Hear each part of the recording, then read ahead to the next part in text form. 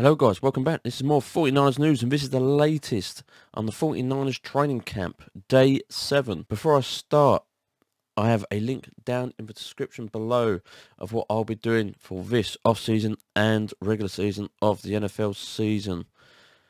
And to keep an eye on 49ers matches, so keep an eye on that as well. I will leave a link down, uh, down in the uh, description. Have a look and tell me what you think. But I've finished work yet again and I'm here to kick ass for you guys. So here we go for day seven of the training camp. And here we are yet again, si.com forward slash NFL forward slash 49ers news. It's by Grant Cohn. Look him up, Grant Cohn. Um, great bloke. Catches all 49ers of training camp to anything he gets hands on on daily. Very good. Uh, he's a very good um, uh, media bloke on the 49ers. So, the good and not so good from day 7 of the 49ers training camp. Breaking down the, the best and the worst performances from day 7 of the 49ers training camp. So here we go. Here's what stood out. Day 7. The good. Number 1. Defensive end Arik Armstead. Stop running back Trey Sermon for no gain on the second play of practice. Then beat Mike uh, McGlinchey uh, to sack Jimmy G on the third play. Armstead has been the 49ers best defensive line in camp, mostly because he has been the, uh, the healthiest one yet. Number two, defensive tackle uh, Kevin Givens broke into the backfield and stopped uh, Sermon for a three-yard loss on the fourth play of the practice when the starters were facing the start. Uh, when the starters were facing the starters, Givens is a starting caliber player in the NFL and a good one too. That's very good. Number three, defensive tackle uh, Maurice Hurst uh, stopped running back Hasty for a three-yard loss, then stopped Trey Lance for a, a three-yard loss on a zone read. Okay, Hurst already looks much better than former 49ers first round pick uh, Solomon Thomas, who's now on the Raiders. Number four, strong safety uh, Tavon Wilson. Um, he um, he started uh, every practice at strong safety and played well. Today he broke up a pass intended for George Kittle during a one-on-one drills in the red zone, then nearly intercepted a pass from Jimmy G during the 11 on 11s. If uh, Jack Tartt never recovers from his turf toe injury, Wilson will replace him with starting lineup. He made two nice stops against run yesterday. Okay. Number five, Titan Ross Dwelley made a safety form in his uh, on his face during one-on-ones and caught a 40, 45-yard pass from Trey Lance during 11-on-11s. The 49ers defense can't stop Dwelley. No uh, there. Number six tight end Jordan Matthews uh, caught a 10-yard touchdown pass in the red zone, but made a key block on a 10-yard touchdown run by Wayne Gallman.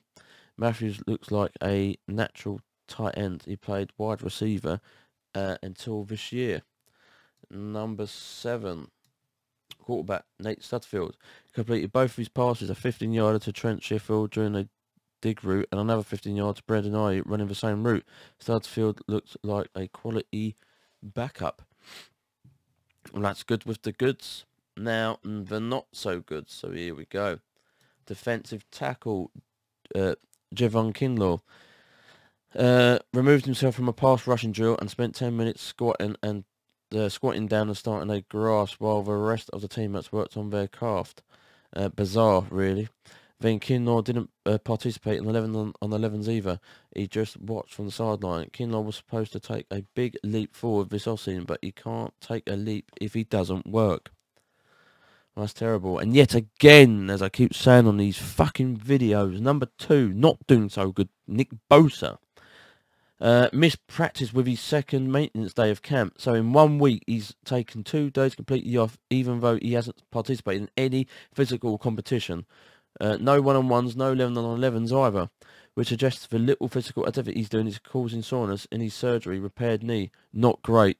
This is what I'm saying, guys. I'll talk about it more later. Number three, defensive end, uh, Samson uh, Ibu- uh, uh, Ebukam. Missed yet another practice about the 49ers calling soreness in his legs. Sounds like it's worse than soreness.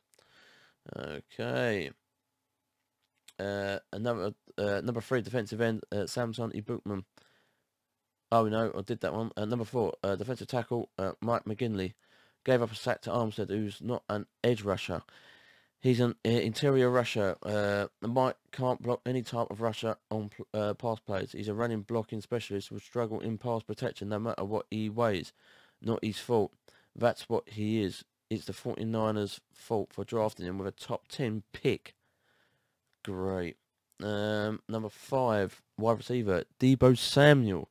Returned to practice after missing Tuesday with a groin tightness and dropped a pass. Also committed a holding penalty. Number six, guard Aaron Banks.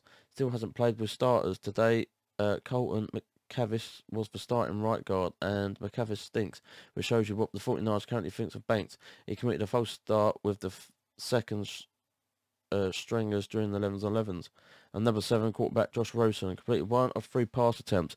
His body language doesn't not express confidence. He's uh, he's looked like wants to be the, he wants to be somewhere else. He's better step up, or he will spend the rest of his twenties playing tennis in a country club. Bloody hell! But yet again, forget all of that, right? Forget Aaron Banks, Deebo Samuel, Mike McGlinchey, like all these guys. You know what I mean? We have their up days, we have their off days. That's fine. I understand. You know what I mean? This is why the off season's here. This is why we get him going, get him kicking in, done. I keep saying on every single one of these fucking videos, where is Nick Bosa standing? He's supposed to be, he's supposed to be our main guy. Right there in the middle, tackling, sacking. What is this guy doing? Seriously, what's this guy doing? I can't see. He needs to do something off season, and if he doesn't, he needs to do something regular season. But I cannot see this guy continue with us for a whole season. I just can't see it.